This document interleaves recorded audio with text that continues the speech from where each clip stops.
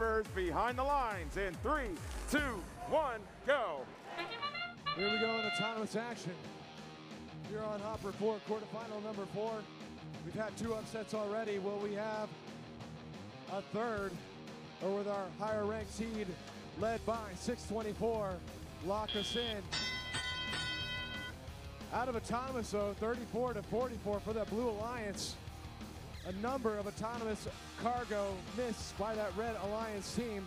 And Blue locked in loaded. They're automatic from that distance. 46 to 22, a big lead. Red's going to have to do some work to try to make it up, but they can. They've got some of the most prolific shooters here on the field, here on Hopper. 624, the CRyptonite Machine of Texas, powerhouse from Katy, Texas.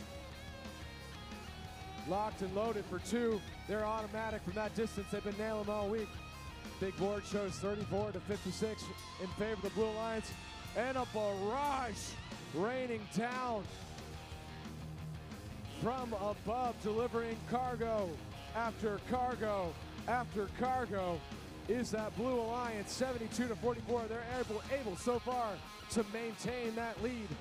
Red Alliance answering with a flurry of shots. Four up and good. Blue trying to respond. Two more for that CRyptonite team. Trying to herd those cargoes off the tarmac. Two more up and good.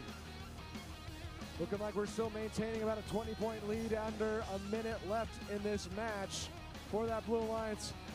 One, two, three, four, five, six, seven more. Go those two alliances, 96 to 74. A constant stream of these cargo into that upper hub. Not a moment where that hub is empty. We're over, over 100 points now for the Blue Alliance, 112 to 88. Just an incredible amount of scoring as we enter the end game. There's still time to make up the difference to this Red Alliance. We've got some quick climbs on that CRyptonite team. 15 seconds left in this match. Red Lion's still going for a couple additional cargo, trying to get them up and in. We've got a 25 point lead for the Blue Alliance, looking to close the gap. AngelBotics up and good for the Traverse. CRyptonite up and locked in, 35 38. Oh no, getting knocked off by their team, hanging by a thread. For Blue Alliance, again with the upset, 156 to 113.